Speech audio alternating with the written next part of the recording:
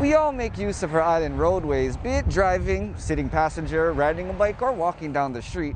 But how many of us actually pay attention to the given names?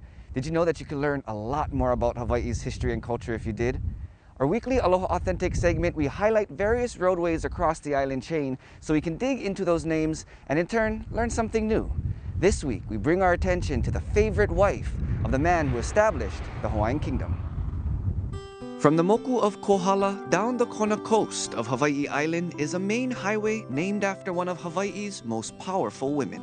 We were talking about Queen Ka'ahumanu Highway. Ka'ahumanu was born to chiefly parents in Hana, Maui. Her father was the High Chief Keeaumoku, a friend and advisor to King Kamehameha I during his campaign conquering the islands. While Kamehameha was the ruling chief of Hawaii Island, Ka'ahumanu became one of his wives, considered his favorite. As the only female member to Kamehameha's Council of Chiefs, Ka'ahumanu was considered a cornerstone to his government.